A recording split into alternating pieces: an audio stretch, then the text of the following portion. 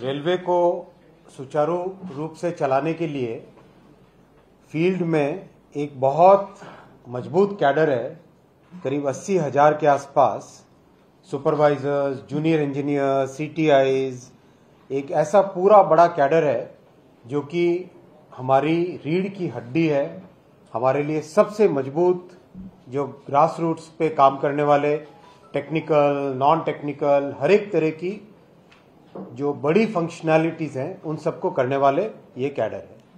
इस कैडर में एक लंबे समय से बहुत बड़ी प्रॉब्लम थी स्टैग्नेशन की।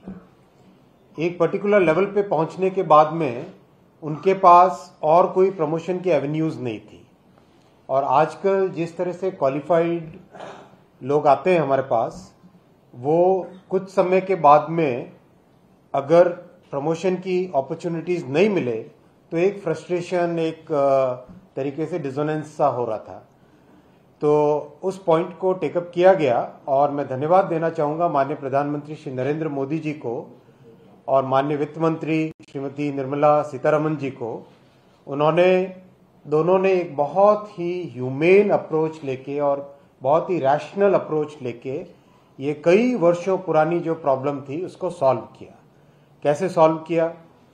कि जो लोग सुपरवाइजर कैडर में थे, उन सब के लिए पे अपग्रेडेशन का एक नया स्कोप बनाया। कैसे बनाया?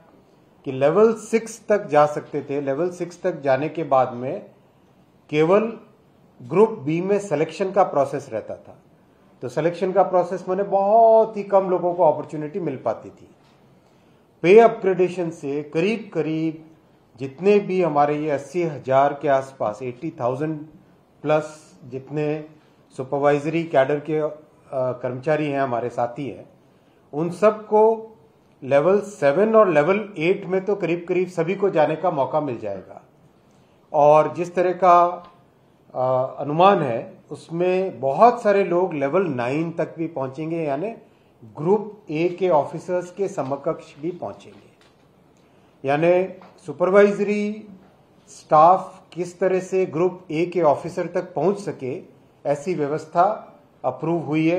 बहुत ही खुशी की बात है और फ़ील्ड में इसकी, मैं जहाँ पर भी फ़ील्ड में जाता था, हर जगह मुझे सुपरवाइजरी स्टाफ मिलते थे और सब कहते थे कि इतना बड़ा ट्रांसफॉर्मेशन रेलवे में करना है। कुछ हमारा जो की पोजिशन ये बहुत ही इंपॉर्टेंट लेवल होता है, बहुत ही इंपॉर्टेंट लेवल है। इस लेवल के लिए भी कुछ करना चाहिए। तो ये विषय हम लेके गए थे। प्रधानमंत्री जी के पास स्वयं उन्होंने इसमें ध्यान दिया। वित्त मंत्री जी ने स्वयं इसमें ध्यान दिया और ध्यान देके इस बहुत पुरानी प्रॉब्लम को सॉल्व किया। ये आज जा, ये जानकारी आज आज आप सबके सामने रखनी थी और फ़ील्ड के ऑफिसर्स सारे जनरल मैनेजर्स डीआरएम्स आज उपस्थित है इसमें कॉल में।